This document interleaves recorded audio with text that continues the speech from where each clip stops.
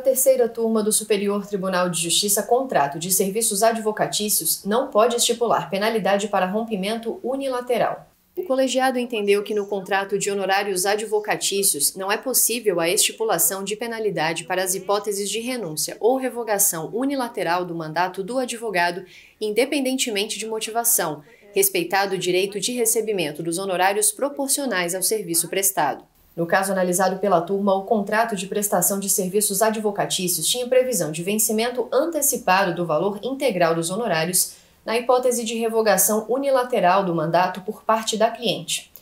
A primeira instância e o Tribunal de Justiça do Mato Grosso do Sul julgaram improcedentes os embargos opostos pela cliente à execução movida pela empresa de advocacia. O tribunal confirmou a sentença sob o argumento de que o contrato trazia disposição expressa de necessidade do pagamento do valor integral dos honorários na hipótese de revogação antecipada, caracterizando como título líquido, certo e exigível. A cliente recorreu então ao Superior Tribunal de Justiça, alegando violação à função social dos contratos, ausência de certeza, liquidez e exigibilidade do título em execução e vulneração do princípio da confiança devido à cláusula que visava a vinculação dos contratantes de forma permanente.